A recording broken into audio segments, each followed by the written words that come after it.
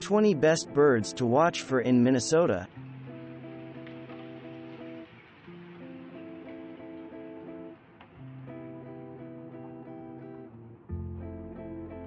Found year-round in the central part of the state, the trumpeter swan, Cygnus buccinator, is one of the largest swan species.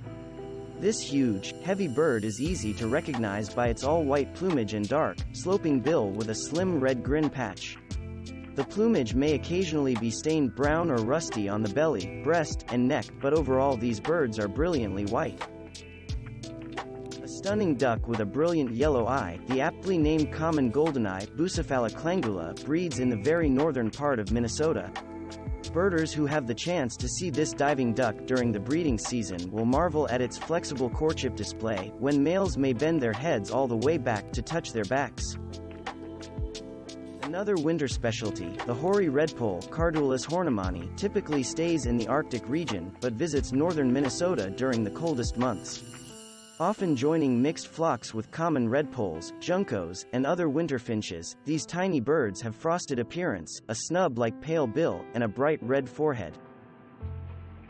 A stunning singer, the black-billed cuckoo Coccyzus erythrophthalmus is a summer guest throughout Minnesota, where it prefers leafy, deciduous woods.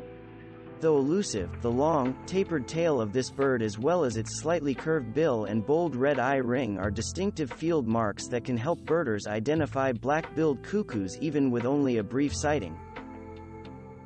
The black-backed woodpecker, Picoides arcticus, is a year-round resident of Minnesota typically preferring the northern and central parts of the state. Burned-out forests with standing snags are ideal habitat to spot this woodpecker, preferably with coniferous trees. In winter, these birds do occasionally venture further south in the state. Tiny but fierce, the boreal chickadee Poecile hudsonica is found in northern Minnesota year-round, with rare eruptions bringing them only slightly further south in the state. These birds are hardy in the state's brutal winters, and they prefer dense spruce forests that provide good shelter and rich food sources. Their dusky brown cap makes them easy to distinguish from black-capped chickadees.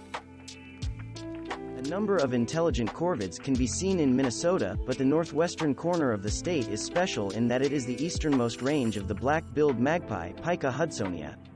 These large, playful birds with their long tails and elegant, iridescent plumage are a treat to see, especially for birders who haven't had a chance to go birding in more western states such as Colorado, Montana, Idaho, or Utah.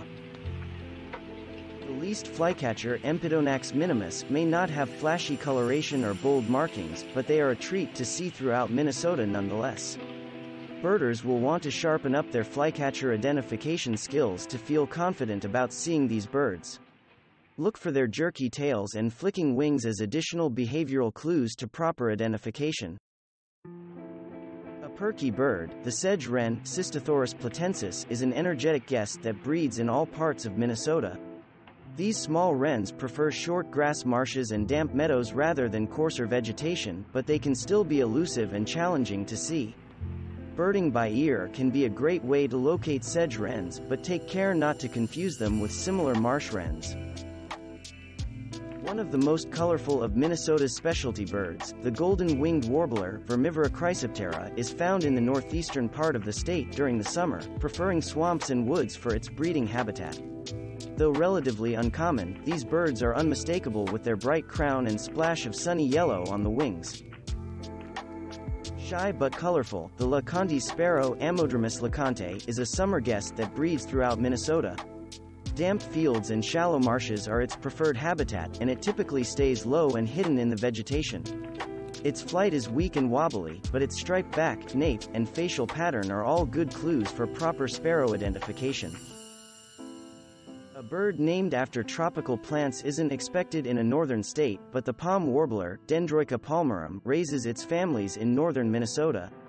This gives birders a great opportunity to see its colorful breeding plumage instead of the drab colors it wears in the winter in the southeast.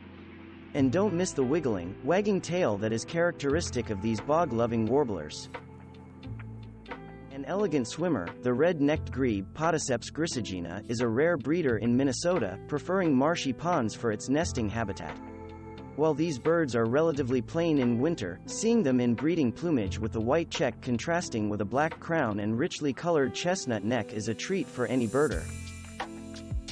No trip to the North Star State would be complete without seeing the common loon, Gavia immer, the state bird of Minnesota. Though only found in the northern and central parts of the state during the breeding season, these birds are instantly recognized with their checkered plumage, dagger-like bills, and yodel-like call that echoes across the forest lakes they prefer. Waterfowl aren't the only birds that enjoy the land of 10,000 lakes, and the black tern, Chlidonias niger, breeds throughout the state in freshwater marshes, where they feed primarily on large insects. These small birds are elegant in their dusky, dark plumage with silvery wings and a whitish tail.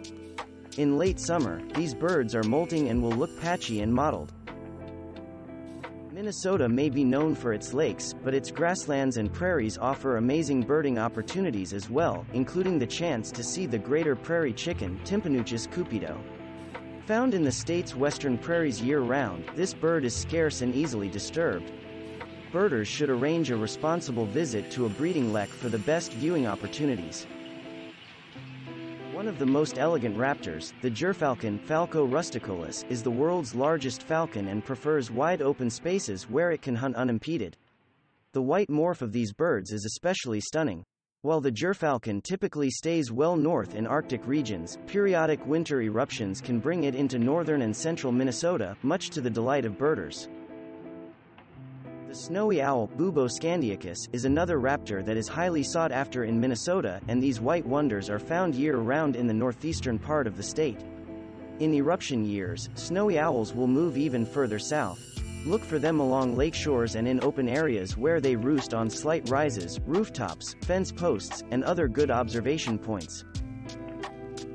Minnesota is an owl lover's paradise, and the great gray owl, Strix nebulosa, is one of the most desired owls to see in the state. These large, well-camouflaged owls are found in forests and along forest edges in the northern part of Minnesota year-round, spreading into the central areas of the state in winter as they range slightly further for the best food sources. Though scarce, the northern hawk owl, Surnia ulula, is well worth watching for in Minnesota. With bold facial markings, these owls are active during the day as well as the night, and are found in the northernmost parts of the state during the winter months. Eruptions can be irregular, but do occasionally bring these raptors further south. Thanks for watching. Subscribe for more interesting videos. And please hit the like button for the YouTube algorithm.